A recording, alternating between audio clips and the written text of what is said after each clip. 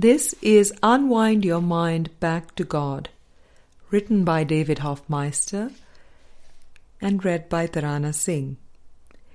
In today's episode, we continue with the transfer of training with Book 3. In Chapter 3, this is Section 1, last and final part.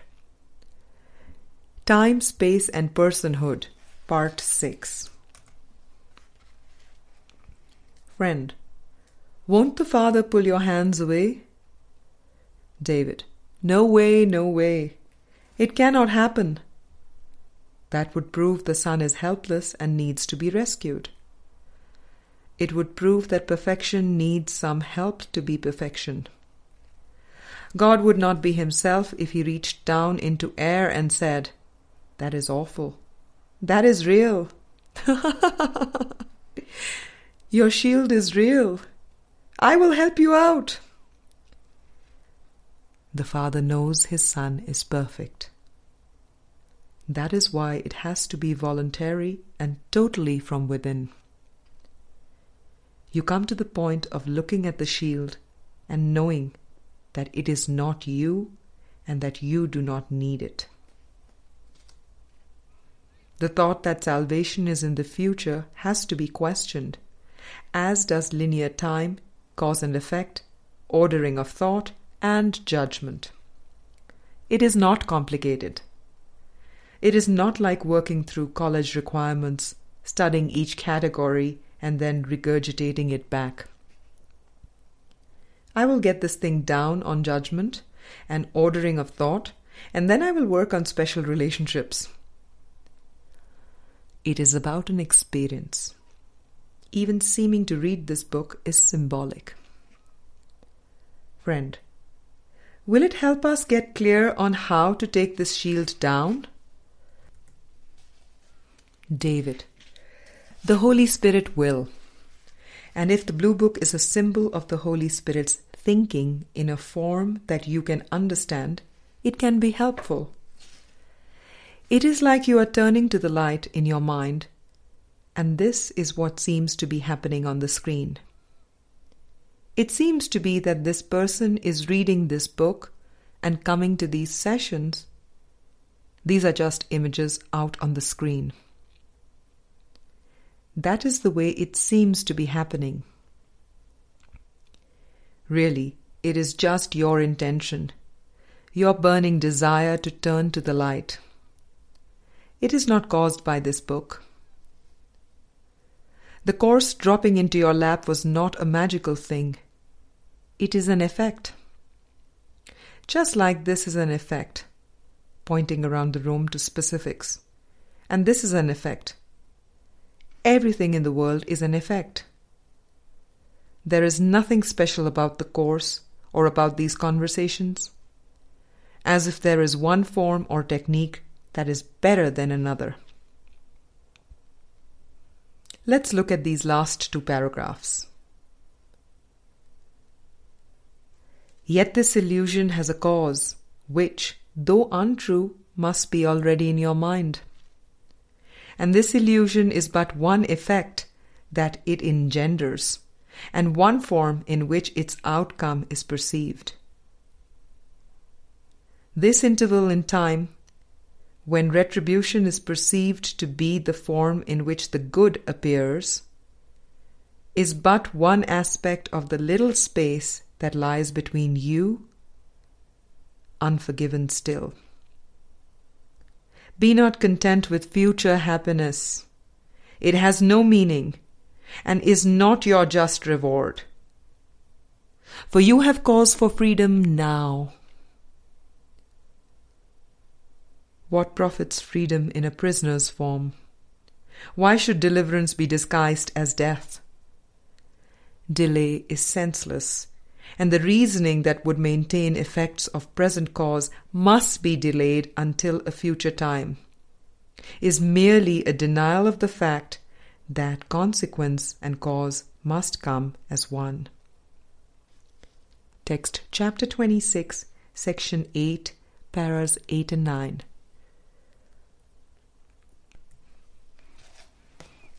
There it is again. The statement that cause and effect are together. any kind of reasoning that says salvation is coming in the future is a denial of the fact that consequence and cause must come as one. Enlightenment must be simultaneous. It must be instantaneous. That is what it means to recognize something that is already here. It is not like enlightenment is something new and that somehow, if you read the Course enough, read the Course enough, or do enough good deeds, you will come to a point when you have finally filled the cup. The cup is full. The cup is overflowing this very instant. The only choice is whether you will recognize and accept it. If there still seems to be some vagueness, if you are thinking that it sounds simple but does not really seem to be simple, then there is something to question. You still must believe in personhood and preferences. You still must believe in linear time. In a past where real things happened, and in a future where more real things are going to happen. If you believe any of that, you are just denying the awareness that is available right now. You are denying enlightenment. Salvation is immediate. When objections come up in your mind, like concerns about debt, or your wife, or your kids, but, but, but, but, remember that. Trust would settle every problem now. Text chapter 26, section 8, para 2. Line up with the Holy Spirit. Just allow it all to be turned upside down and fly in the face of everything you ever believed. Be content and listen to the Holy Spirit. He will direct you. It is not like you have to deal with all these problems first, so you can then be open to the Holy Spirit. The Holy Spirit is available right now, and He will dictate. He will give you what to say and do, so to speak that is comforting. What could you not accept if you but knew that everything that happens, all events, past, present, and to come, are gently planned by one whose only purpose is your good? Workbook Lesson 135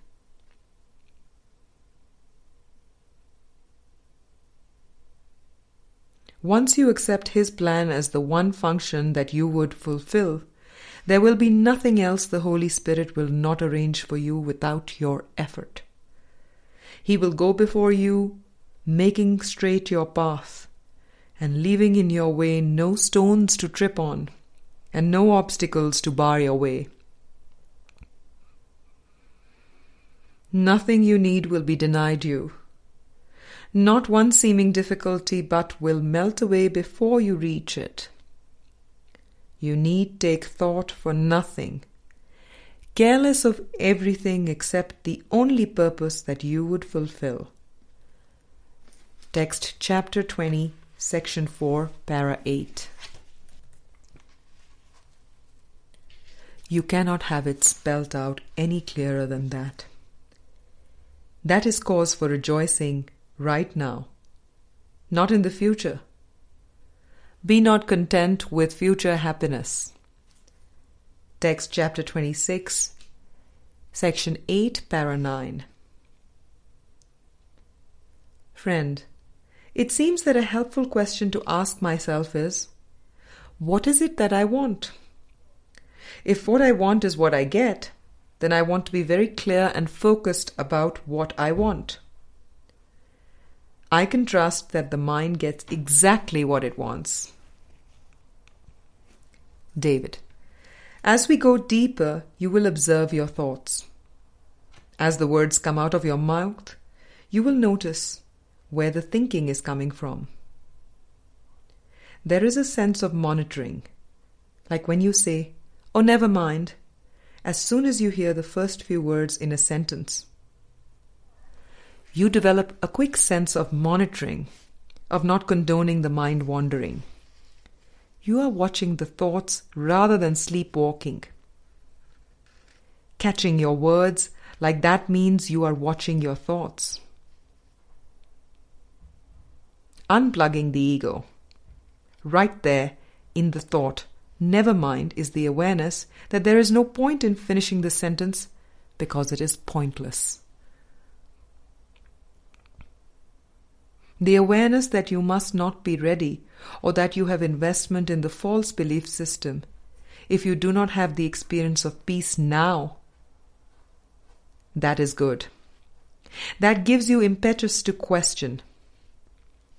If you have a sense that salvation is available right now, and yet there is something that is holding you back from experiencing it right now, then wow! Look not to time, but to the little space between you still, to be delivered from. And do not let it be disguised as time, and so preserved because its form is changed, and what it cannot be recognized. The Holy Spirit's purpose now is yours. Should not His happiness be yours as well? Text chapter 26, section 8, para 9. And do not let it be disguised as time. It seems as if all problems within this world have to do with time, whether it is paying off debts, or resolving an issue with your wife, or moving towards becoming a mystic. It seems like there is always some time involved. There is so much strain and upset in thinking about how things will work out in the future or how they have not worked out in the past. When you are upset, look not to time. Do not let time disguise it or be the preserver of it. Be open to the present correction that is always available. There seems to be a tracing back only because there is a belief in linear time. But the whole idea of tracing back falls away when you can see just the falsity of the ego. That is where the constant joy and peace come in. You do not bite the bait first and then have to trace it back. You no longer bite the bait in the first place.